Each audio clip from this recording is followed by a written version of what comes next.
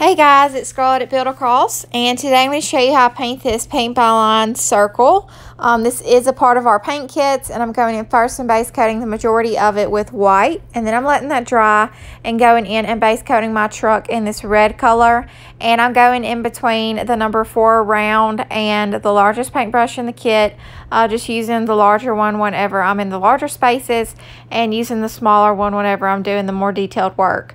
I'm also going in with that number four round right now and I'm just um, brushing on this green on the tree and I'm just following those lines that are etched into the cutout for me to be able to freehand all of this. Um, it makes it super easy. I'm going in now with a light gray provided and I'm painting um, my windshields and also the rims on my tires.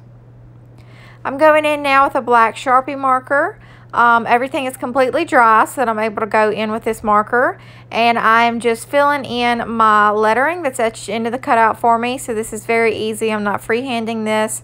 I'm just following the writing um, that's already there for me. I'm also using this marker to outline my truck. And I'm also going to use it to fill in my tires and um, just outline that tree as well. And then I'm going to go in with a number four round and some white paint and highlight the truck. And then after that, I'm done. I hope you guys enjoy this video and have a great day.